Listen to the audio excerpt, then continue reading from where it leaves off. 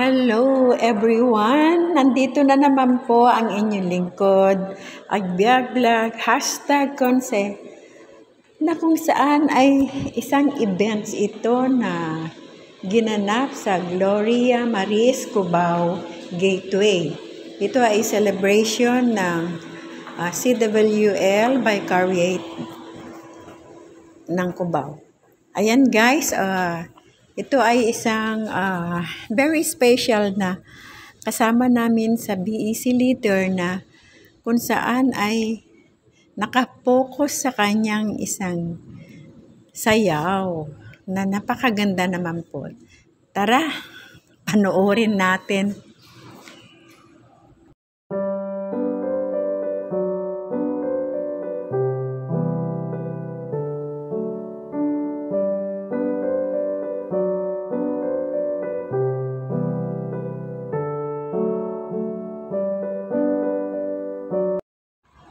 Starts 10, 9, 8, 7, 6, 5, 4, 3, 2, and 1. Follow.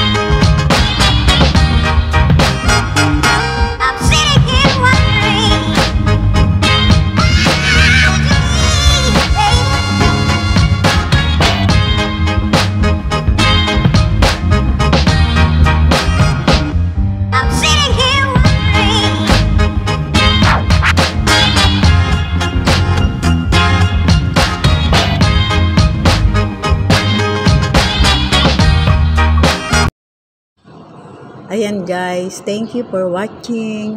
Kung hindi pa kayo nakapag-subscribe, please like, comment, and touch the bell for the new notifications. Salamat and God bless. Agbiag Vlog, hashtag concept.